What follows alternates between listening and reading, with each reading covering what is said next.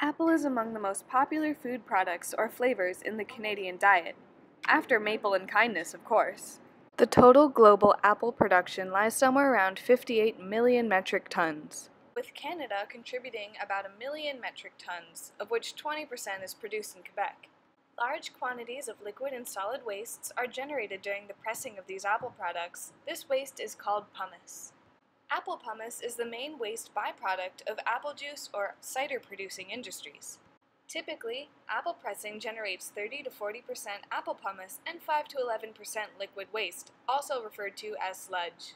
The pomace consists of 76% moisture and 24% solid. The organic solid waste is composed of flesh, seeds, and stem.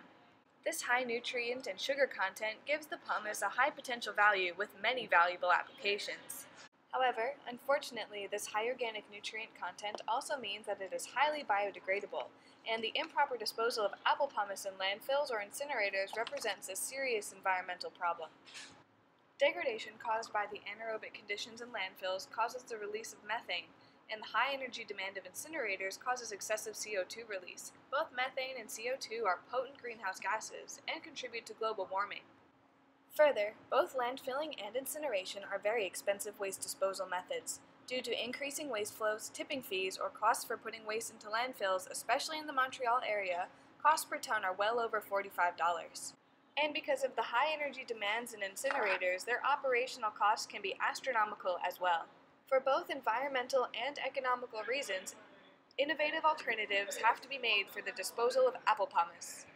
Animal feed has been explored as a possible outlet for the pomace. However, it only covers 20% of the total waste volume. There is still 80% or well over 800,000 tons of waste to be properly disposed of. Other possible options to be explored include the conversion to apple flour, alcohol, cider kin, composting, mulch, pectin, meat flavors, mushroom production, or other biotechnological applications.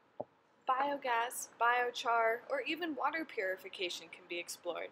Whatever disposal method you choose, it's going to be a hell of a lot better than whatever we got now.